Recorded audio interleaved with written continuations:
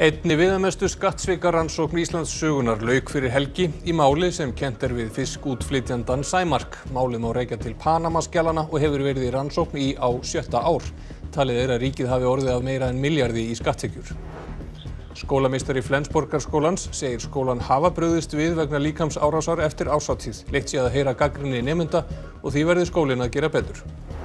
Óttast er að alltaf 60 manns hafi farist í árás rússa á skóla í Lúhansk héraði í austur Úkrænu í gerkvöld. Yfiráð rússa eru engum í suður og austur hluta landsins og þar er mest barist.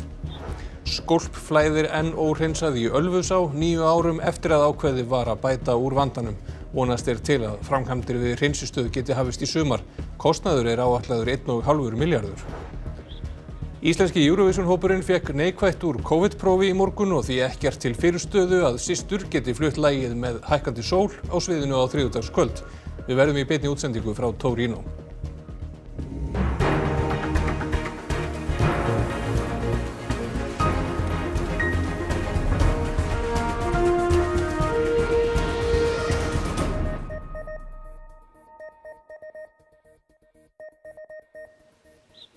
Gott kvöld. Rannsókn héraðsaksóknara á máli Sigurðar Gísla Björnssonar og fyrirtækinu Sæmarki sjáarafurðum er lokið. Það er nú komið á borð saksóknara sem tekur ákvörðun um hvort ákæra verði gefin út. Þetta er einn umfangsmesta skattsvikarannsók setni ára en hún hefur staðið í rúm 5 ár. Nafn Sigurðar Gísla var að finna í hinnum svokölluðu Panamaskjölum. Skattaransóknarstjóri keifti gögnin fyrir sjö árum en í þeim mátti finna upplýsingar um tengsl Íslendinga við félög í skattaskjóli. Rannsókn yfirvalda á umsvifum Sigurðar Gísla og fyrirtækisins Sæmarks sjáarafurða hófst með formlegum hætti í desember árið 2017 þegar gerð var húsleit á heimili hans og hjá Sæmarki í Hafnafyrði. Í framhaldinu var gerð krafa um kyrsetningu meðal annars á öllum eignum Sæmarks sem leiti til þess að starfsemi félagsins var sjálfhætt. Rannsóknin vattu upp á sig og nokkru mánuðin setna var gerð krafa um kyrsetningu en þá fyrir áallæðri skuld upp á rúman miljard að þér framkom í úrskurði landsréttar á sínum tíma. Minst tveir dómar hafa fallið í tengslum við rannsóknina. Í öðru málinu var kona dæmt til að greiða 178 miljónir í sekt vegna launagreðsla frá aflandsfélagi Sæmarks. Í hinu var útgerðamanni á Vesturlandi gert að greiða sekt upp á 35 miljónir. Í dómnum kom fram að hann hefði meðal annars ekki gefið upp nótkun á erlendu kreditkorti sem skattaskjólsfélag í eigu Sigurðar Gísla greitti fyrir. Fimm nefndum var vísað úr Flensborgar skóla flestum tímabundið eftir að þau réðust á tvo samnefnundur sína í mars. Skólamestarinn segir skólan hafa gripið til fleiri aðgerða í kjölfarið og þykir leitt að heyra að upplifun, upplifun nefnda afsakið sé önnur.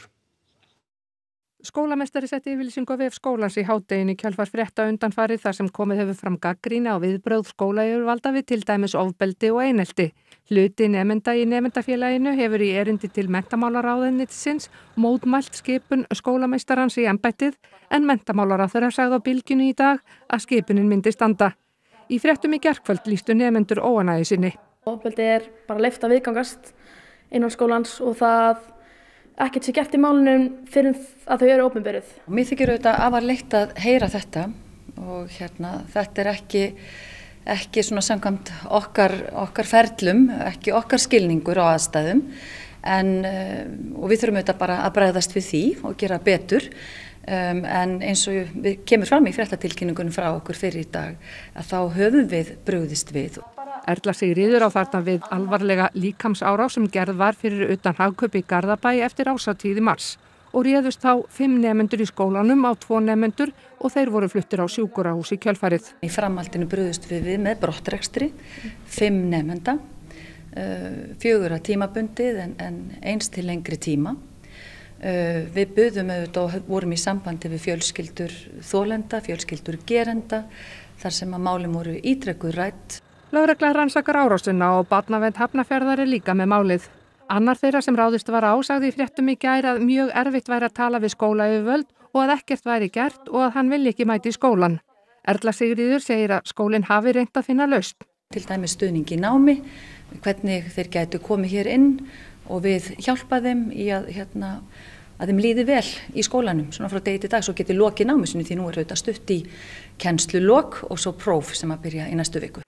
En sé verið að vinna í þessu segir hún síðast í fyrradag. Í fréttinni í gær var bent á að til dæmis var engin staður á heimasíðu skólans þar sem væri hægt að tilkynna einelti. Skólameistaranum líst mjög vel á þá hugmynd. Þetta er bara góð hugmynd og, og ég mun svo gjarnan uh, koma því bara í framkvæmt strax á morgun, strax á eftir. Og þá til Úkrænu. Óttast er um afdrif 60 mann sem voru í skóla sem sprengtur var í Donbass héræði í gerkvöld. Hermenn í Mariupol heita því að gefast ekki upp. Fórsetafrú Bandarækjana og Bono söngveri U2 heimsóttu kænugarið í dag. Dráp á óbreytum borgurum hafa verið algengi í þessu stríði. Í gærkveldi gerðu rússar sprengju áras úr lofti á skóla í þorpinu Bílogorívka í Luansk héradi. Það sök hérastjóra Luansk höfðu um 90 mannsleita þar skjóls. 27 björguðust en óttast er að aðrir sem voru inni um 60 manns hafi fallið. Vrónka, Rosta. Rosta. Rosta. Severodonetsk er austasta borgin sem enn er undir yfirráðum Úkrænumanna. Þeir eiga sífælt erfiðara með að halda henni og ef hún fellur er í raun allt Lúansk hérað komið á vald rúsa. Í Mariupol er enn verið að reyna að koma fólki á brott frá Asostov stálverksmiðunni. Óbreyttir borgarar eru farnir og nú er komið að hermunum og heilbriðistarsfólki. Árásir rúsa verða sífælt harðari. surrender for us is unacceptable because we cannot grant uh, such a big gift to the enemy because every person uh, every person who were captured is the exchange fund is the resource Í Odessa við Svartahaf var sex rúsneskum eldflögum skotið úr lofti. Fjórar þeirra hæfðu borgaraleg mannvirki.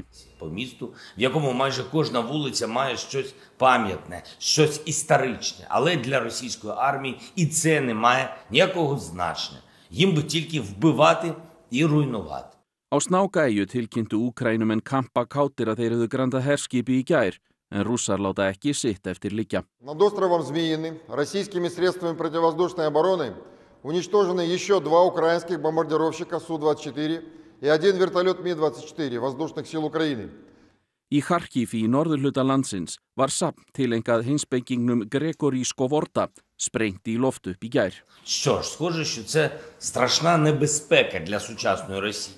І музеї, і християнське ставлення до життя, і пізнання людьми себе. Þetta eru aðeins helstu staðirnir þessa dagana. Rússar hafa náði yfirráðum á svæðum í söðri og austri og árásirnar gefa til kynna að þeir vilji seilast enn lengra. Meðan á þessu stendur fjölgar heimsóknum mektarfólks til Úkrænu. Jill Biden, fósettafrú bandaríkjana, kom í óvænta heimsók til kænugars í dag og hitti þar Olenu Selenska, fósettafrú Úkrænu. Justin Trudeau, fósettisráð þeirra Kanada, kom til Irpin í dag til að skoða verksumerki og Bono og Edge úr hljómsveitinni U2 heldu óvænta tónleika í neðanjarðalestastöð í kænugarið.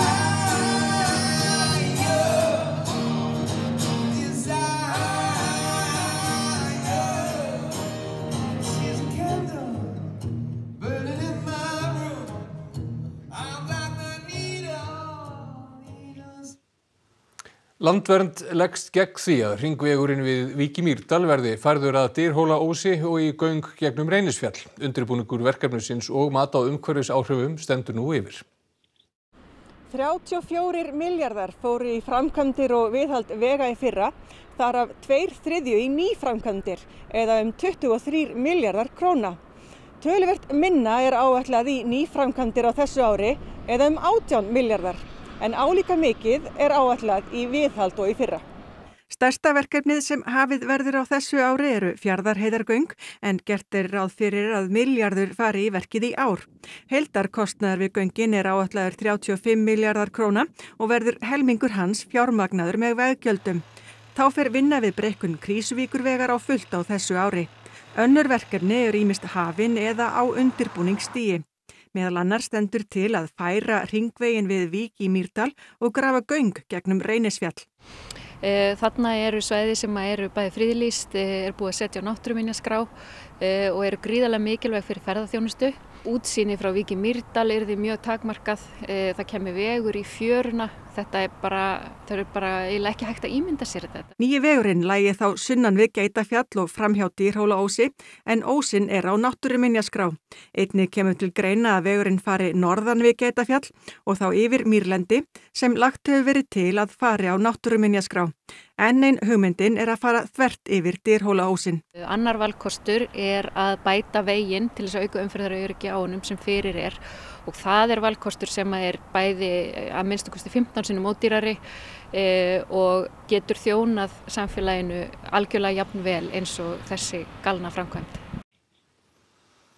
Bresk stjórnvöld leggja hartað fórustumönnum flokkana á norður írska þinginu að deila áfram völdum eins og hefð hefur verið fyrir í rúma tvo áratví. Sinn Fein, sem fekk flesta þingmenn í kostningunum í síðustu viku, vil þjóðaratkvæðagreðslu um sammenningu við Írland. Sambandsflokkurinn er því andvigur. Sinn Fein er stærsti flokkurinn á norðuríska þinginu með 27 þingmenn af 90, tveimur fleiri en líðræðislegi sambandsflokkurinn sem tapaði tæpum 7% og þremur þingmönnum. Samkvæmt fríðarsamkómuleginu frá 1998 sem batt enda á áratuga deilur katholika og mótmálenda og er kent við förstu dagilanga skiptar störf fósettis og varafósettisraðura milli stærstu flokkana. Samkvæmt áðurnöndu samkómulegi er engin munur á völdum ráðherran að tækja. Óveist er að Jeffrey Donaldson leitt hóði sambandsflokksins tilnefning varafósettisraðura þegar þín kemur saman í vikunni. Það er staða sem bresk stjórnvöld hafa áhyggjur af. So I've already been in contact with the party leaders, not just over the last few weeks and days, but I'd also be meeting them all tomorrow and stressing to them what we've said consistently through. We want to see the nominations, we want to see Stormont up and running with a full executive that can be getting on with the decisions that need to be made for the benefit of the people of Northern Ireland. Michelle O'Neill varaformaður Sinn Fein hefur áður gengt stöðu varafórsættisræðara og á greiða leið að verða fórsættisræðara fyrst í líðveldi sinnin í 101 á sögu Norður Írlands. If you look at the results in Northern Ireland, 58% fully of people voted either for parties who support the Union or for parties who do not support constitutional change. And that is the message from the people of Northern Ireland. Ísland er sílikondalur sjávarútvegsins, segir sérfræðingur norska bankans DNB. Hann segir að innan þryggja ára geti útflut, útflutningstekjur af eldislagsi orðið jafnmiklar og af þorski. Dag Slettmó, aðstofa framkvæmdustjóri hjá DNB bankanum norska fjalla um tækifæri og áskoranir í íslensku sjávarútvegi á orsfundi samtaka fyrirtækja í sjávarútvegi. Hann segir stöðu Íslands mjög sterka, mikil þekking sé til staðar og markaðsetning góð. Posisjon også som er så sterk at det er viktig og slett bare jobbe for å beholde den. Ikke sant? Jeg liker å si at Island er Silicon Valley når det gjelder fiskeri på global basis. Þá ser hann mikla möguleika felast í lagseldi. Og så Når det gjelder muligheter fremover ellers, er jo selvfølgelig lakseoppdrett en kjempemulighet for Island. Som vi ser allerede holder på å bli veldig stort. Og som i løpet av kanskje tre år kan bli like stort i verdi som torskefiske. Og Hvis vi tenker si, ti frem i tid, hvis alt går bra, så kan faktisk verdien av lakseoppdrett på Island bli like stor som verdien av fiskeriet på, på Island. Hann segir mikilvægt að draga úr mengun vegna fiskeldis, regluverkið þurfa að vera stert, koma þurfi veg fyrir síkingar og að fiskur sem sleppi úr sjókvíum blandist viltum fiski. Þá segir hann að í Nóriði séu leifi til fiskeldisbóðinu upp og það skapi ríkinu meiri tekjur. Aðspurður hvort norskir fjárfestar farið með eldir hingað þar sem það sé ódýrara, segir hann. Det har vært en mulighet rett og slett, det har vært mulig å vokse.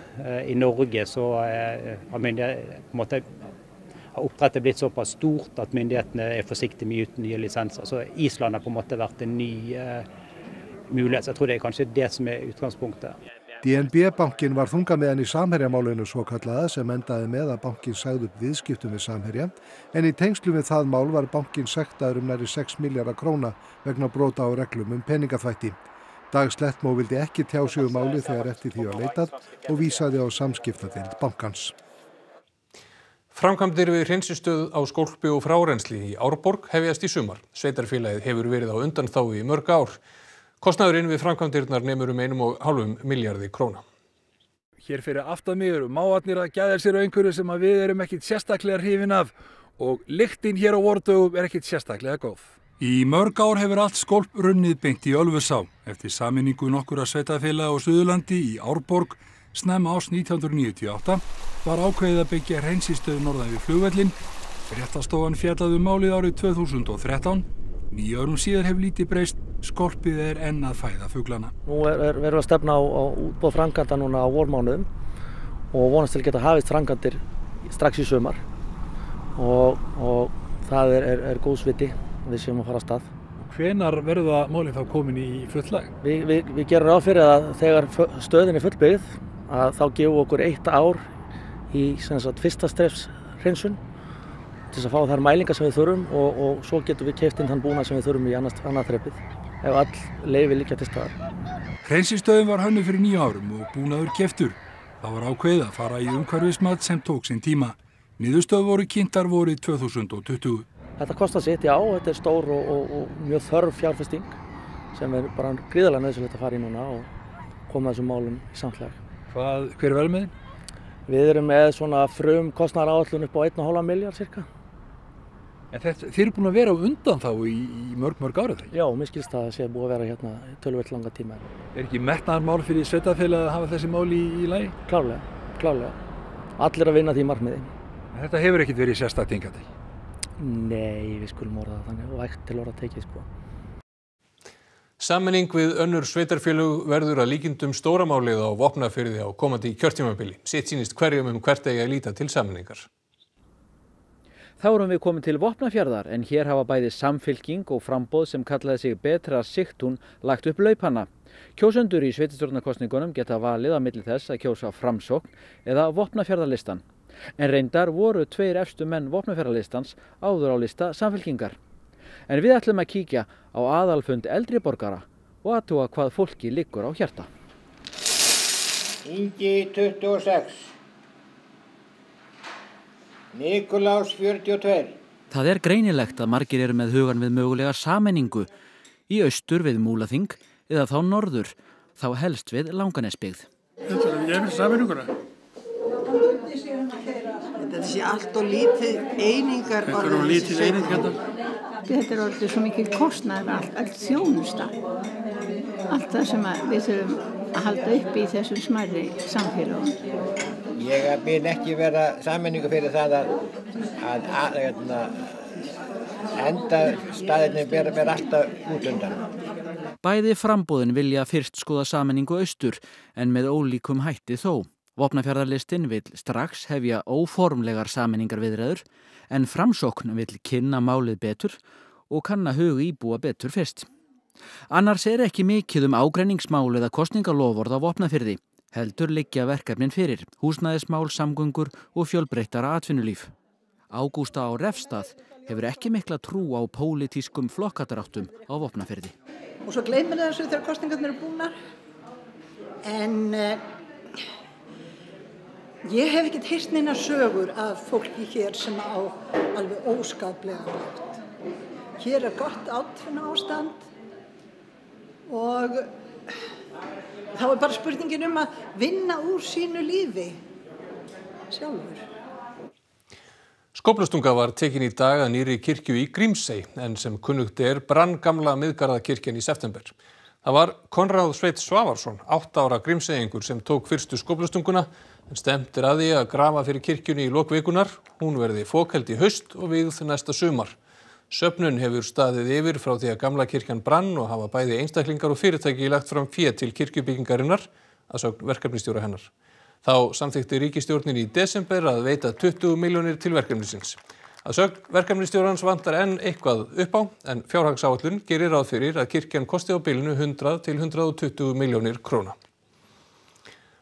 Íslenski Eurovision hópurinn fekk gleðifréttir í morgun þegar allir reyndust neikvæðir í COVID-prófi fyrir utan höllina í Torino á Ítalíu þar sem undankeppnin fer fram á þriðudag. Björg Magnúsdóttir er nú stödd á opnarháttíð Eurovision keppnar Björg. Það hefur verið þægilegt fyrir íslenska hópin að mæta á háttíðina í dag með þessar upplýsingar í farteskinu. Jú, það má með sanni segja. Við erum auðvitað pínlítið brend sko, eftir árið í fyrra þegar þurft að spila upptöku af æfingu þarna frá Dada og Gagnamagninu í stóru útsendingunni. En nú hefur það fengið staðfest að sýsturna stíga á svið að því nú erum við með, já passin okkar gildir í 72 tíma í viðbúnd og það tryggir okkur þáttöku í keppninni sjálfri á þriðdægin. En eh, eins og segir, opnunarháttíðin fór hér fram í dag. Við erum stödd hérna einhverju voðalega falleri höll hérna rétt í út, útjæðri Torino. Allir keppendur sem taka þátt í ár, þau gengu hérna turkisbláa dreigilinn hvert á fætur öðru í dag. 40 lönd taka þátt og keppendurni bara fóru allir í réttri röð og hittu, já, bladamenn, rættu við bladamenn og aðdáendur og brugðu svona á leik. Sisturnar voru þetta meðal keppendana og, og svöruðu æstum bladamennum og komum sínu málöfnum á framfæri eins og þeirra er von og vísa þannig að það er svona stór og skemmtilegu dagar að baki og mér heyrist svona partíð ætla að halda vel áfram hérna inni í höllinni. Já, mikið gleða þarna með myndirnar en eftir þennan dag þá tekur alvara við, ekki satt? Jú, það er nefnilega algjörlega þannig. Annað kvöld er dómararensli sem gildir helming á við símaatkvæðin en símaatkvæðin dettu auðvitað inn í útsendingunni á þriðjúdagskvöld í fyrri undanreðlunum þegar Ísland stýgur á svið, 14. lægið í röðinni og við að sjálfsögðu hlökkum til að fylgjast með sístrunum og sískinunum verða landi og þjóð til sóma. Takk fyrir þetta Björg Magnúsdóttir frá Torino. Og þá ætlum við að líta til veðurs hérna heima. Breytileg átt, 3 til 10 metrar og skúrir á morgun en rigning norðan til fram eftir morgni, kólnar á vestfjörðu með slittu á köplum og gengur í norðaustan 10 til 18 þar síðdeis. Það dregur úr úrkomu annað kvöld og kólnar. Birta Líf Kristinsdóttir veðurfræðingur fer nánar yfir veðurhorfurnar að loknum íþróttum en það er hún Kristjana Ar Arnarsdóttir sem heldur utanum þær í kvöld. Landsliðskonan Sveindi Stjén Jónsdóttir var í dag Þískalandsmeistari með liðið sinu Wolfsburg. Wolfsburg vann stórsigur á Jena í næst síðustu umferð deildarinnar.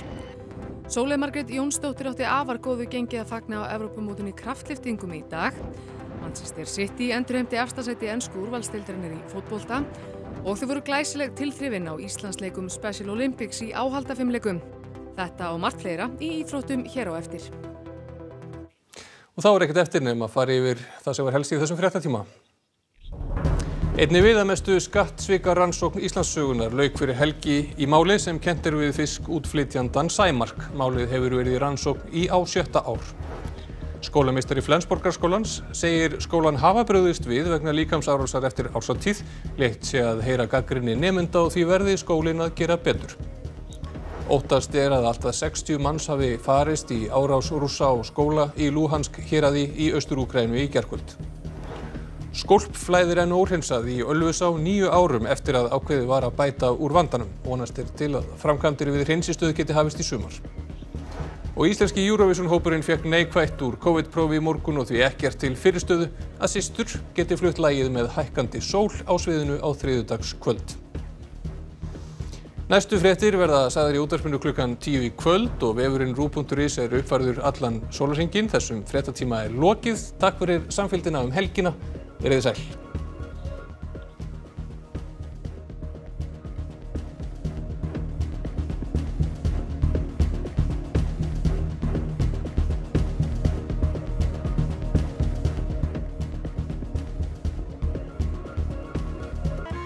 Á rúf í kvöld. Landin ferðast um Ísland og heilsar